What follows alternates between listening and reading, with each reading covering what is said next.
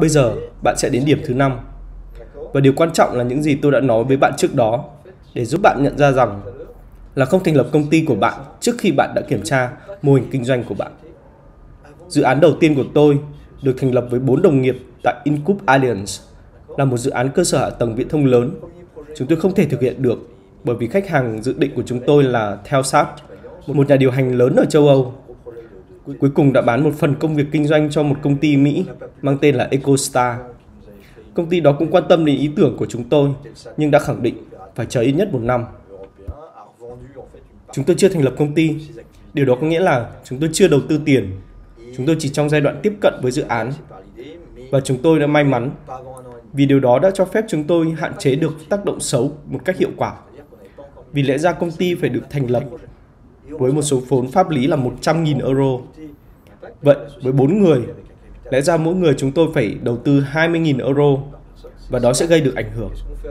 Chúng tôi sẽ làm gì sau khi chúng tôi đã đặt 20.000 euro và chúng tôi không có dự án? Vì khách duy nhất của chúng tôi, tuy đã cam kết nhưng cuối cùng họ đã bỏ đi. Chà, điều đó có thể xảy ra. Cuối cùng, chúng tôi đã tranh thủ để đi xa nhất có thể trong hoạt động và nhận ra rằng dự án đó, mà theo ý kiến của tôi, là một dự án khá tuyệt vời. Nhưng bạn thấy đấy, việc đó không phụ thuộc vào chúng tôi, nó phụ thuộc vào khách hàng. Vậy, chúng tôi không thành lập công ty và chúng tôi đã gặp may mắn. Nếu không sẽ xảy ra rất nhiều rắc rối. Trên thực tế, đừng thành lập công ty của bạn cho đến khi bạn đã xác nhận được mô hình kinh doanh của mình. Tại sao? Bởi vì bạn sẽ có nguy cơ đốt tiền mặt. Tôi lấy một ví dụ. Nếu bạn đã thành lập một công ty, bạn biết rằng bạn phải tốn thời gian, phải tốn thời gian để soạn điều lệ, phải mất thời gian để làm việc với ngân hàng, đi gặp bạn bè để tìm vốn đầu tư, bạn phải đi thuyết minh và phải có kế hoạch cá nhân.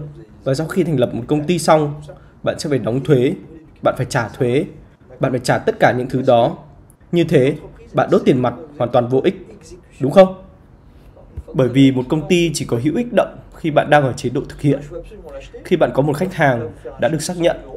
Khi có một khách hàng nói, Ồ, tôi hoàn toàn muốn mua sản phẩm này, tôi sẵn sàng đưa cho bạn một tấm séc 100.000 euro, thì lúc đó bạn cần có một công ty của mình. Chừng nào bạn còn trong giai đoạn nghiên cứu, còn đang xác nhận mô hình kinh doanh của mình, theo ý kiến của tôi là không đáng, hoàn toàn không đáng đầu tư vốn, sẽ bị mất.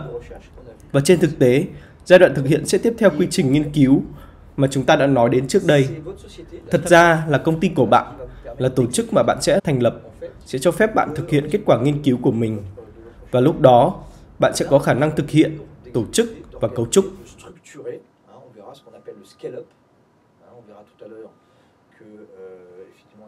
Chúng ta sẽ thấy cái được gọi là mở rộng quy mô.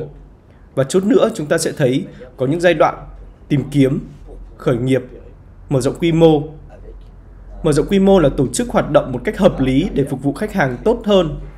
Và đằng sau, bạn có thể thành lập được công ty của bạn. Bạn có thể tạo ra một cấu trúc để có thể cung cấp thực sự những gì mà bạn đã hứa hẹn với khách hàng.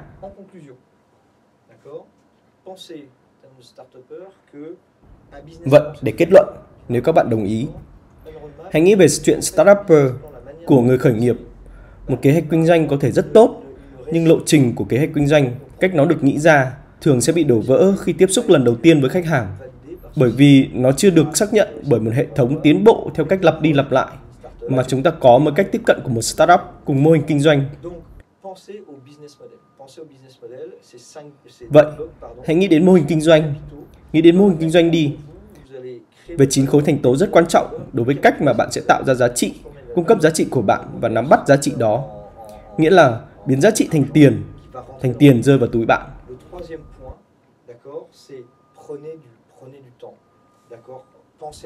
Điểm thứ ba là phải dành thời gian, được chứ? Hãy nghĩ về lựa chọn thay thế cho cùng một mô hình kinh doanh, nhưng với các khả năng khác. Và trên thực tế, đừng quên rằng mô hình kinh doanh của bạn trước khi đi gặp khách hàng chỉ đơn giản là một những giả thuyết. Vì vậy, bạn phải xác nhận những giả thuyết này. Bạn phải xác nhận các giả thuyết này và minh chứng rằng bạn có thể biến những giả định này thành một bằng chứng, thường là việc bán được sản phẩm. Và điểm thứ năm, đừng thành lập công ty trước khi xác thực được mô hình kinh doanh của bạn. Việc xác nhận mô hình kinh doanh thường cụ thể hóa bằng lần bán hàng đầu tiên. Đúng vậy.